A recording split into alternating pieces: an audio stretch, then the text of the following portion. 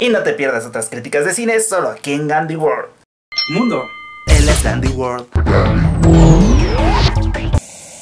Bienvenidos una vez más a esto llamado Gandhi World. Mi nombre es Gandhi y ¿qué les parece si comenzamos con una nueva crítica de cine? Y en esta ocasión hablaremos de la película Nación Asesina.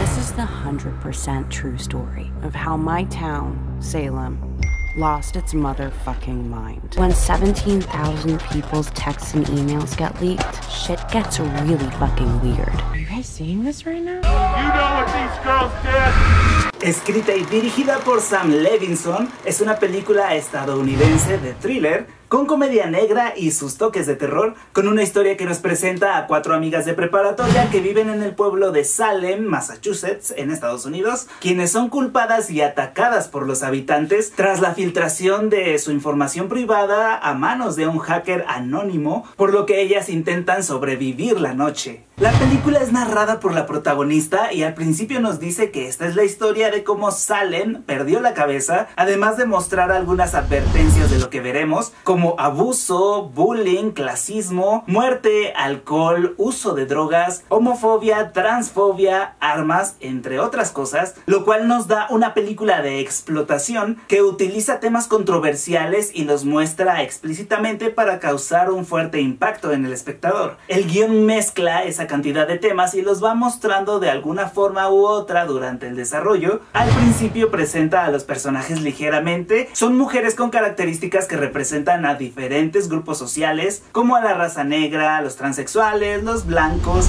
y estas mujeres con características diferentes entre sí son amigas, son unidas, y ahí tenemos en primera instancia un mensaje de unión a pesar de las diferencias. Estas mujeres son atacadas por la gente que se dicen buenas personas, pero a lo largo de la cinta los vemos caer en excesos, mostrar una cara ante la sociedad, pero en realidad en la intimidad es otra. Hay una doble moral. El asunto de redes sociales o de la utilización de dispositivos electrónicos en donde uno piensa que las cosas guardadas se van a quedar ahí, también da a ver el comportamiento de la gente, como el mostrar lo que se quiere y guardar lo que no te hace ver bien, el ocultarse detrás de una pantalla para atacar y muchas veces atacar a otros que son como uno mismo, el no medir las consecuencias de los propios actos, se habla sobre si realmente se puede ser honesto o es necesario mentir para encajar. Pero hablando del guion, este se estructura por una serie de muestras del comportamiento humano en una sociedad actual. Esto es lo que las une más que un hilo conductor fuerte o las historias personales de las chicas, que es en lo que más flaquea esta historia, ya que no las conocemos bien, incluso en algún momento cuando están utilizando todas el mismo vestuario rojo, no las distinguimos. Ahora, la película la venden como que veremos una guerra y destrucción al estilo de The Purge, y sí hay cosas similares, al igual que recuerda a Kill Bill o a Chicas Pesadas, pero aquí no hay esa guerra o matanza. Primero nos presentan ese asunto de la decadencia social, se viene el hackeo y todos enloquecen, y es hasta casi el final, a partir de la secuencia en que ellas visten de rojo, que la tensión se genera por los ataques que las chicas sufren. En un momento vemos a dos grupos encararse, quedando frente a frente con armas, pero no creo que la película proponga esa solución. Sí hay un discurso tras el cual viene una unión generada por el hartazgo, por la necesidad de ser libre y ser uno mismo, pero parece que eso va a detonar en un enfrentamiento armado. Y posiblemente sí se propone ese enfrentamiento, pero no necesariamente físico o a través de las armas o la guerra, tal vez solo es una metáfora. Y el enfrentamiento que propone es más sobre ser tú mismo y mostrarte así ante la sociedad a pesar de lo que digan. En las actuaciones participan Odessa Young,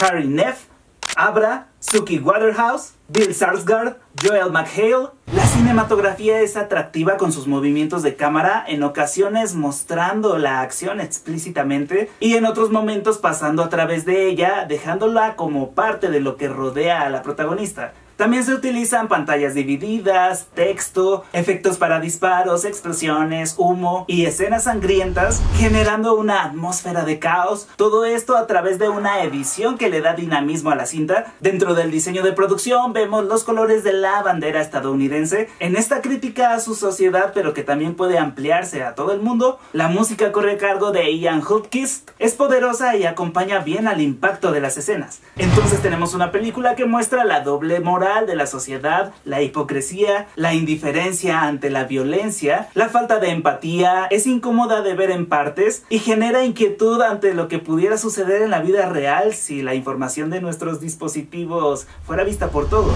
En cuanto al ritmo, la cinta se pone lenta sobre todo hacia la mitad, el dinamismo de la edición ya se queda de lado cuando se siente que no se pasa de lo mismo con la historia, se olvida de algunos personajes, falta desarrollar a otros y hay una saturación de temas, pero eso sí, es una película que no va a dejar indiferente a nadie.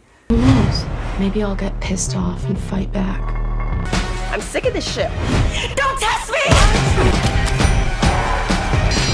You may kill me, but you can't kill us all.